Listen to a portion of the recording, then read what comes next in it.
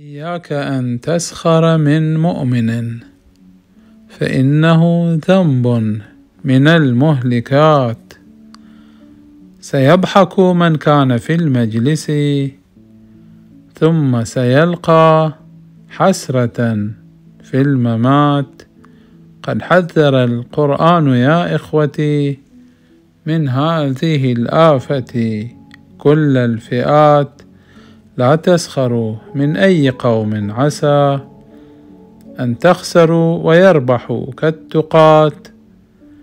فربما كانوا هم الأفضل وأنتم لا تعلمون الصفات. لا تسخروا لا تسخروا واحذروا من كل من يسخر قبل الفوات. كم ساخر من غيره مفلس. كم ساخر من غيره مفلس بعد انكشاف البصر للعصاة.